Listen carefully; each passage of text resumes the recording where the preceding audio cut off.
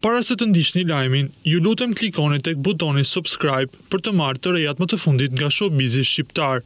Faleminderit. Një rast i rëndë ka tronditur vendin. Tridhjetë e katër vjeçarja nga Gjakova, Artila Kameri, po dyshohet se humbi jetën pasi ka rënë nga kati i dytë i hotelit në të cilin po qëndronte me një mashkull. Rasti për vrasjen në fjalë u konfirmua nga zëdhënësja e Policisë për rajonin e Prishtinës, Flora Ahmeti. Ajo deklaroi se vdekjen e viktimës e ka konstatuar ekipi mjekësor në vendin e ngjarjes.